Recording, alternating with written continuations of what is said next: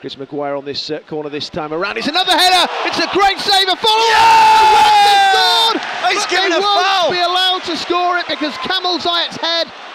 Well, it reached for the ball, it went into the net, but the referee seen something and disallowed it. Initially, there was a great save from Gerken. I think it was Stevie May, wasn't it, with the first header? Denied by the goalkeeper on the line. The follow up from the centre half went into the goal, but it won't count.